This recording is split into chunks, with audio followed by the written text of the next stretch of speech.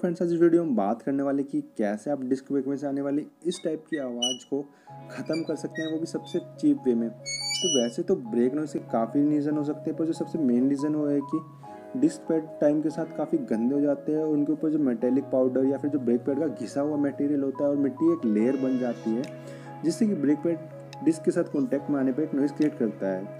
तो उसी को साफ़ करने के लिए हमें कोई अच्छी क्वालिटी का डिग्रीजर लेना है। आपको ध्यान रखना है कि आप कोई भी ऑयल बेस्ड प्रोडक्ट यूज़ ना करें उससे और काम ख़राब हो सकता है।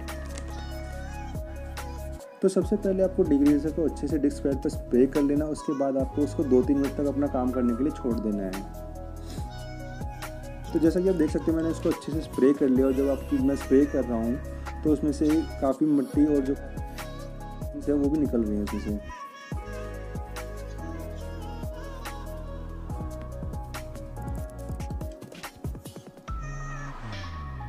अब आपको अपना पूरा दो तीन मिनट तक इसको आराम से अपना काम करने के लिए छोड़ देना और उसको अगर आप चाहो तो इसमें बीच बीच में स्प्रे कर सकते हैं, जिससे ड्राई ना हो जाए। अब आपको स्कोच बाइट लेना है उस पर भी डिग्री से स्प्रे कर देना है।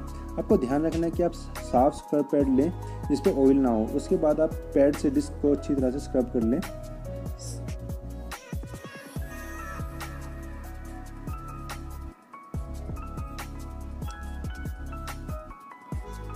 आपको ध्यान रखना है कि आप मतलब जो आपका जो ब्रेक पैड का जो जो कैलिपर साइड है, उसको आप स्क्रब पैड स्क्रैच ना करें, क्योंकि कुछ जो स्क्रब कैलिपर होते हैं, वो उन पर कुछ पेंट, पेंटेड भी होते हैं। तो अगर आप उसको स्कॉच ब्राइट से अगर उसको आप स्क्रैच करेंगे तो हो सकता है आपका पेंट, जॉब जो है, आपका ख़राब भी हो जाए। तो उसको आपको ध्यान से करना है।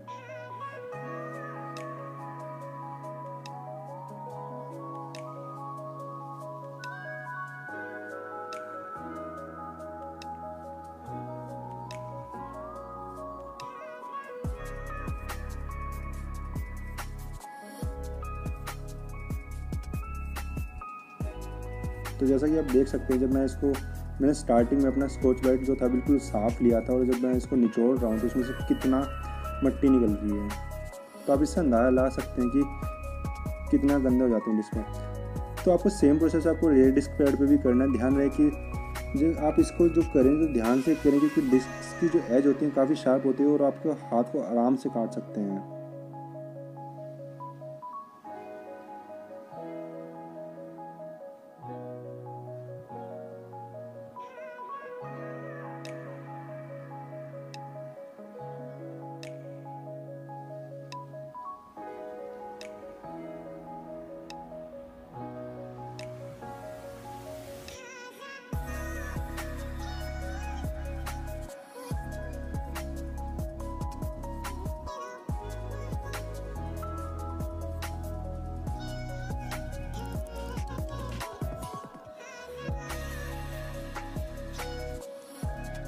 अब आपको सिंपल सा डिस्क जो आपने डिग्री से क्लीन किए हैं, उनको आपको सिंपल सा पानी से धो लेना है और आपका काम ख़त्म हो गया तो यार, अगर आपको इसी के साथ वीडियो पसंद आए तो प्लीज़ नीचे लाल बटन को दबा के चैनल को सब्सक्राइब कर दीजिए ऐसे ही सपोर्ट करते रहिए।